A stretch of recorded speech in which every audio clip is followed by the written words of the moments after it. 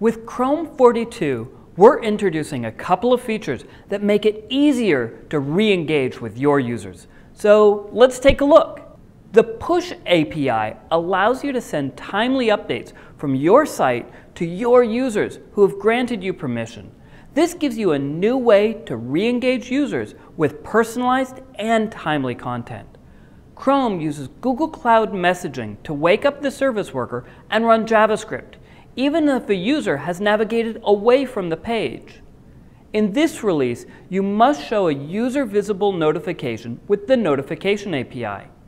Each notification includes a site settings button, allowing users to easily disable notifications for a site.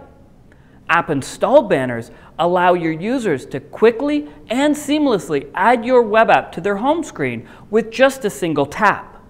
Chrome will automatically show the banner when certain criteria are met. The criteria will evolve over time based on feedback from users and developers alike. But today, they are a web app manifest file that contains at least the short name and a 144 by 144 pixel icon, a service worker, content that's served over HTTPS, and finally, the user has visited the site on at least two separate days over a period of two weeks. With these new engagement features, we also wanted to make XHR-like transfers a little bit more pleasant. The Fetch API is now available in the window context and also for both shared and dedicated workers. Like XML HTTP request, Fetch is an API for fetching resources from a remote server. Fetch has a cleaner API and uses promises to eliminate the joys of callbacks.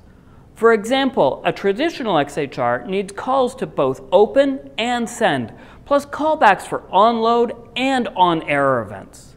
But with fetch and promises, this becomes much easier. These are just a few of the features now available to everyone in Chrome. To learn more, check out these links.